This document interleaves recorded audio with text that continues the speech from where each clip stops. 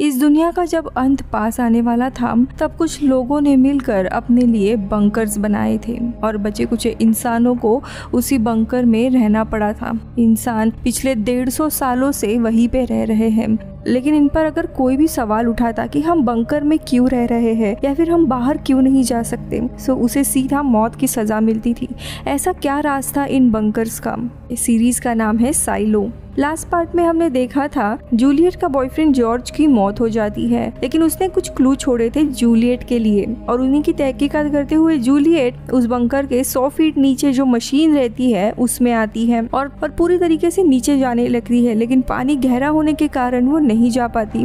वापस आकर वो जॉर्ज की एक खास घड़ी थी, उसे पहनती है और उसे याद करते हुए काफ़ी उदास होती है। वही दूसरी तरफ़ हम बंकर के मेयर रूथ को देखते हैं, जो डेप्यूटी शेरिफ मांस के साथ होती है और उसे वो जूलियट को ढूँढने के लिए कहती है, क्योंकि पिछला शेरिफ हटसन उसने जूलियट का ही नाम दिया था शेरिफ के कैंडिडेट के लिए। इसी दरमियान हम देखते हैं, ये पूरा बंकर में बहुत ज़्यादा भूकंप आने लगता है और सारी चीज़ें हिलने लगती है। ये देख जूलियट होश में आती है और उसे समझ आता है कि मेन जनरेटर खराब होने वाला है। इसीलिए वो अपने टीम के पास आकर उन्हें बताती है कि हमें ये जनरेटर ठीक करना होगा और अगर वो बंद हो गया तो बहुत बड़ी मुश्किल आ जाएगी। इसी दरम्यान मेयर रूथ और मांस एक जगह पे बैठे होते हैं, तभी सिम्स नाम का एक ऑफिसर उनके पास आता है। जो बताता है कि उसके पास भी डेप्यूटी के लिए एक कैंडिडेट है, लेकिन मेयर उसके कैंडिडेट को देखने के लिए मना करती है। जिसके बाद मेयर रूथ और मांस दोनों आईटी इंडस्ट्री के हेड के पास आते हैं। जूलियट, जो कि जूलियट को शेरिफ बनाने वाले डिसीज़न पर बिल्कुल भी खुश नहीं थे, क्योंकि जूलियट नीचे के हिस्से में, यानी वर्कर की कैटेगरी में आ रही थी। और ऊपर का हिस्सा थोड़े अमीर लोगों के लिए था। अब उनसे कुछ बातें करने के बाद मेयर शेल्टर के बाकी लोगों से मिलने के लिए जाती है और उन सबसे थोड़ी बातें करके वो न्यू बॉर्न बेबीज को देखने जाती है और वहाँ पे एक डॉक्टर जिनका नाम निकलसन था, उनसे बात करती है। यहाँ पता चलता है कि ये जूलियट के पिता है और जूलियट भी इसी क्लास से बिलोंग करती थी। जूलियट के बचपन में उसे मैकेनिक्स में बहुत ही इंटरेस्ट था, इसीलिए वो यहाँ से नीचे के, यानी वर्कर के हिस्से में चली गई काम करने के लिए। लिए। निकलसन से कुछ इन्फॉर्मेशन लेने के बाद मेयर रूट डिनर करने के लिए जाती है, लेकिन तभी अचानक से वापस से शेल्टर में बहुत ही हलचल शुरू हो जाती है। इसीलिए मेयर नीचे जनरेटर के यहाँ पे चेक करने के लिए आती है, जहाँ पे जूलियट काम कर रही होती है। वो जूलियट को काम करते हुए देखकर काफ़ी इम्प्रेस होती है। इसीलिए उसे वो शेरिफ बनाने के लिए तैयार होती है, क्योंकि वो वो रिस्पॉन्सिबिलिटी ले सकती थी। लेकिन जूलियट को ये खबर पता चलते ही वो पहले मना करती है। लेकिन फिर भी मेयर उसे हटसन का वो बैच देती है। अब जूलियट का ध्यान जब उस बैच पर जाता है, तब उसमें उसे पता चलता है कि हटसन ने उसके लिए कुछ लिखा है, जिसे पढ़कर वो तुरंत शेरिफ बनने के लिए मान जाती है। लेकिन शेरिफ बनने से पहले उसे जनरेटर को फिक्स करना ज़रूरी था, इसीलिए वो मेयर से जनरेटर को पूरे ठीक करने के बाद ही वो ऊपर आएगी, ये बताती है। अब जनरेटर ठीक करने के लिए परमिशन मिलने के बाद उसे बंद कर दिया जाता है और पूरे बंकर की लाइट्स चली जाती है। सब जगह अंधेरा था। जूलियट अपने टीम के साथ जनरेटर को ठीक करने में लग जाती है। उन्हें पता चलता है, जनरेटर का एक बहुत ही बड़ा ब्लेड टूटा हुआ था, जिसे वो लेकर नीचे आते हैं और उसे ठीक करने लगते हैं। वही दूसरी जगह, मेयर और मांस दोनों भी एक साथ बातें कर रहे होते हैं और मेयर को टेंशन आने लगता है कि अगर सही समय पर जनरेटर फिक्स नहीं हुआ तो बंकर के नीचे इतना सारा जो पानी है वो ऊपर आने लगेगा और लोग उसमें डूब कर मर सकते हैं। काफ़ी समय हो गया था तो यहाँ पे इनका ब्लेड रिपेयर हो जाता है और जूलियट और उसकी टीम ऊपर जाके वापस उसे लगाने लगती है और कुछ घंटों के बाद ही जनरेटर वापस से शुरू होने लगता है, जिसे देखकर बंगर के सारे लोग बहुत ही ज़्यादा खुश होते हैं। अब ये सारी चीज़ें होने के बाद जूलियट मार्था के पास आती है। मार्था नीचे रहती थी और वो जॉर्ज का एक कैमरा, जो कि एंटीक पीस की तरह दिख रहा था, वो उसे देती है ताकि उसके कैमरे के अंदर की चीज़ें मारता निकाल कर उस पर रिसर्च करे। तो यहाँ पे दूसरी जगह मेयर जो कि अपने पोजीशन से काफ़ी थक गई थी, वो अपना रेजिग्नेशन दे देती है और वो मांस के साथ बातें करने लगती है। दरअसल मांस और उसका एक रिलेशन चल रहा था। लेकिन बातों ही बातों में उसकी तबीयत अचानक से खराब होने लगती है, इसीलिए वो वॉशरूम में जाती है, लेकिन तभी वॉशरूम में अचानक से ही गिरने की आवाज़ आती है। ये सुनकर मांस बहुत ही डर जाता है और दरवाज़ा तोड़ देता है और तभी हम देखते हैं कि मेयर्स की तो मौत हो गई है। इससे सभी लोग हैरान होते हैं। है। तो यहाँ पे जूलियट भी अपने नई जॉब के लिए मेयर के ऑफ़िस में आती है, जहाँ पे वो बर्नार्ड और सिम्स इन हाई ऑफिसर्स और मांस की बहस सुनती है, जो मेयर के डेथ को लेकर एक दूसरे से झगड़ रहे होते हैं। तभी मांस बताता है कि ये मेयर को मारने की साजिश नहीं, बल्कि उसे मारने की साजिश थी, क्योंकि मेयर ने उसके बोतल में से पानी पिया था। और इसी से मांस काफ़ी रोने लगता है, जो देख जूलियट को अपने बचपन की याद आती है। जहाँ पे हम देखते हैं जूलियट को एक भाई भी था।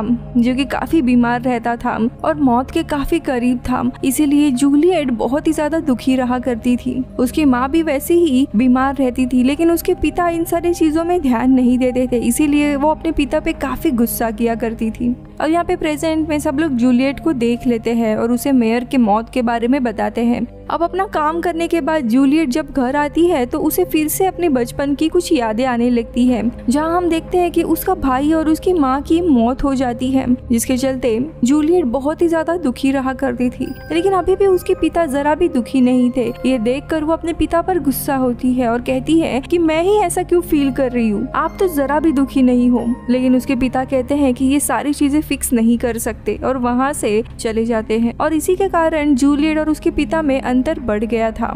अब कहानी प्रेजेंट में आती है, जहाँ पे जूलियट हटसन के ऑफ़िस को सर्च करती है और उसे जॉर्ज का वही फ़ाइल डेस्क पे ही मिलता है, जो हटसन ने उसके लिए छोड़ा था। तभी उसे एक मैसेज मिलता है, इसीलिए वो सीधा शेल्टर के लोअर लेवल को चेक करने के लिए जाती है, जहाँ पे मांस मेयर रूथ को मारने के शक में एक आदमी को पीट रहे थे। लेकिन जूलियट आकर उसे रोक लेती है। वो उसे हटसन का बैच दिखाते हुए कहती है कि मैं मेयर के किलर को ढूंढ के रहूँगी लेकिन इसके बदले में आपको मुझ पर ट्रस्ट करना होगा। ये बातें करके वो लोग साथ में कैनेडी नाम के आदमी से मिलने जाते हैं जिस पर शेरिफ को शक था। लेकिन उन्हें यहाँ पे कुछ भी खास पता नहीं चलता। इस, इसीलिए वो और मांस वापस अपने ऑफ़िस आते हैं और जॉर्ज की कुछ चीज़ें ढूँढने लगते हैं। तभी मांस के डेस्क पर जूलियट को मेयर रूथ की एक फ़ोटो मिलती है जिससे उसे पता चलता है कि मांस मेयर रूथ को पसंद किया करता था। इसी दरमियान जूलियट वापस से अपने अतीत को देखती है, जहाँ पे जूलियट ने मैकेनिक्स वर्क के लिए एक लेटर सबमिट किया था और उसके रिप्लाई में उसे जंक यार्ड में काम करने के लिए रखा गया था। वही जूलियट अब मार्था के साथ रहा करती थी, क्योंकि उसे अपने पिता के साथ नहीं रहना था और मार्था ने भी उसे अपने बेटी की तरह अपनाया था। अब हम प्रेजेंट में देखते हैं मांस। मांस को यहाँ पे काफ़ी गुस्सा आया था कि वो अपने, कि उसने अभी तक कातिल को पकड़ा नहीं है, इसीलिए वो अपना गुस्सा निकाल रहा होता है, तभी उसके रूम पे कोई नॉक करता है। दरअसल वहाँ पे सिम्स था, जो मांस के साथ एक डील करने के लिए आया था। वो कहता है कि तुमने आज एक आदमी को बहुत ज़्यादा पीटा है, जो कि इलीगल काम है। और जब ये बात जज को पता चलेगी तो वो जूलियट के ऊपर ही गुस्सा होकर उसे जॉब से निकालेंगे, क्योंकि वो अभी शेरिफ है। और जूलियट को जॉब से निकालने के बाद तो सिम्स खुद शेरिफ बनना चाहता है, और वो यहाँ पे मांस की मदद चाहता था। लेकिन मांस कहता है कि मैं ऐसा कुछ भी नहीं करूँगा। अब सिम्स वहाँ से चला जाता है। तो यहाँ पे जूलियट अपने घर में होती है, वो मार्था से बात कर रही थी। तभी उसे वेंटिलेशन से कुछ आवाज़ें आने लगती है और जब वो जाकर वेंट में देखती है तो वहाँ पे उसे जॉर्ज का ही एक बैग दिखाई देता है, जो शायद हटसन ने वहाँ पे छुपाया था और उसमें उसे जॉर्ज की काफ़ी सारी चीज़ें मिलती है। दूसरी तरफ़ हम मांस को देखते हैं, जो अभी घर पर था और अचानक से कोई उसके ऊपर हमला करता है। मांस अपनी गन लेकर उसे मारने के लिए जाता है, लेकिन तभी अटैकर उसी की गन छीन लेता है और उसे मार देता है।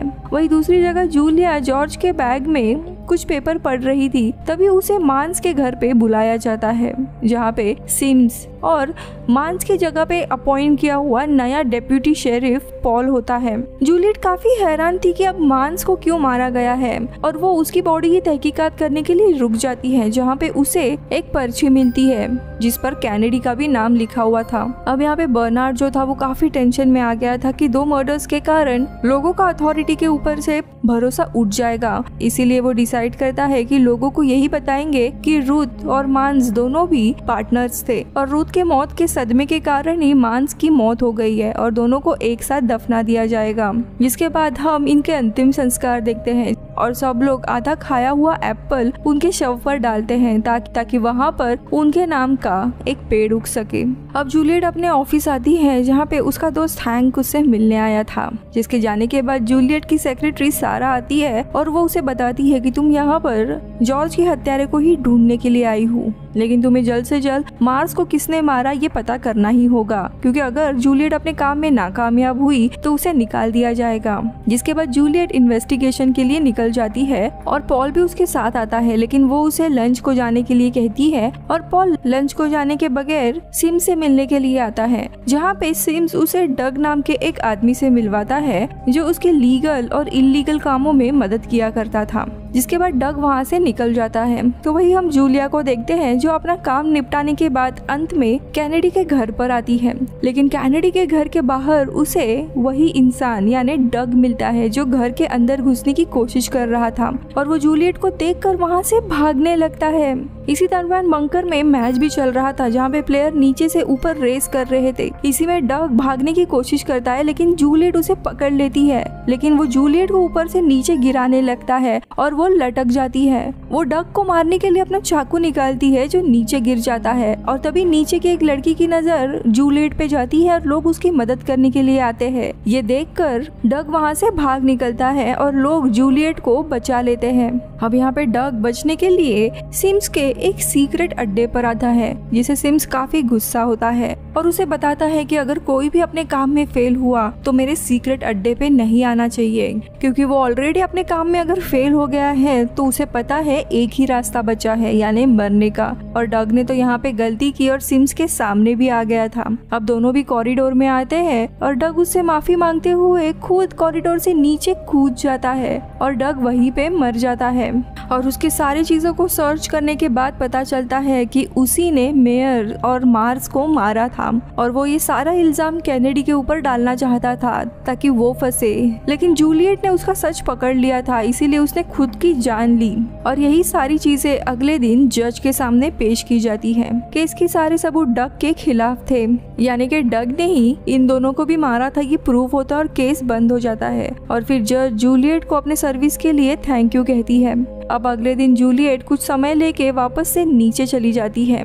रात के समय में वो वहाँ पे जा ही रही थी, तब कैफ़े में उसे लूकस दिखाई देता है, जो अक्सर रात के समय में वहाँ पे बैठा किया करता था। वो उसे मिलकर पूछती है कि वो यहाँ पे क्या करता है। तभी लुक तभी लूकस बताता है कि बाहर के वातावरण में मुझे अक्सर कुछ लाइट्स चमकते हुए दिखाई देती है, जो कि बड़े से डब्ल्यू के आकार में होती है। और ये और ये लाइट हमेशा अपना लोकेशन बदलती है और उसी के ऊपर वो रिसर्च कर रहा है। जिसके बाद जूलियट वहाँ से मार्था के पास जाती है। यहाँ पे मार्था ने उसने दिया हुआ कैमरे को ठीक कर दिया होता है और उसने कुछ हैरान करने वाले रिकॉर्ड्स को कलेक्ट किया था। वो बताती है कि इस साइलो में कोई भी एलिवेटर है ही नहीं। दूसरी चीज़, बाहर के वातावरण में ऐसा कुछ भी प्रॉब्लमेटिक नहीं दिख रहा है। और तीसरी चीज़, जो भी साइलो का सिटीजन पुरानी चीज़ें और उनके रिकॉर्ड्स रखता है, उसे तुरंत गिरफ़्तार कर लिया जाता है। अब और सच ढूँढने के लिए जूलियट वापस से बंकर के नीचे वाले हिस्से में, जहाँ पे वो बहुत ही बड़ी मशीन थी, वहाँ पे जाती है, जहाँ पे वो अक्सर जॉर्ज के साथ आया करती थी और जॉर्ज की कुछ चीज़ें देखने लगती है। और इसी के साथ ये एपिसोड इधर खत्म होता है।